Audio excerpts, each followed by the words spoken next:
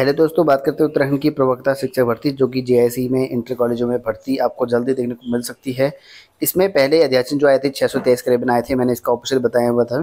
लेकिन अभी और खाली हो रहे हैं नौ सौ छः सौ बानवे पद, ये खाली हो रहे हैं। ऐसे में कुछ पदों की वृद्धि होगी इन पर। और शिक्षा मंत्री ने भी कहा था, लगभग आठ सौ पद आने की संभावना है। इसमें कुछ दिन पहले अगर आप लोगों ने देखा होगा, आठ सौ प्रवक्ता भर्ती कहा था।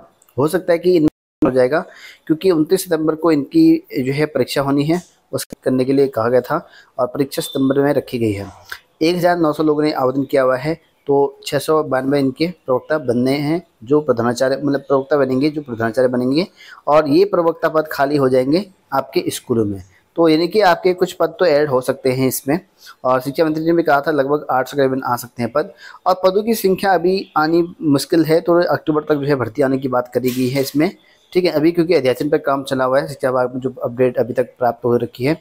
अगर सितंबर, अक्टूबर तक आती है, अगर सितंबर से पहले पहले आती है तो शायद क्या पता इतने ही पद आएँ। अगर नहीं तो अगर बाद में भी आती है तो थोड़ा पद बढ़ भी सकते हैं इसमें। अब डिपेंड करता है कि शिक्षा विभाग पद बढ़ाए या ना बढ़ाए। लेकिन कुछ पद तो इसमें बढ़नी चाहिए क्योंकि काफ़ी लंबे समय से पद खाली हैं। पहले इसमें पाँच सौ तेईस करीबन पद आए हुए थे, पाँच सौ जितने भी थे, फिर उसके दोबारा से कुछ पद और ऐड हुए, इसमें छः सौ से ज़्यादा पद आए। लेकिन अभी एक आध सौ और बढ़ सकते हैं इसमें मेरे हिसाब से तो।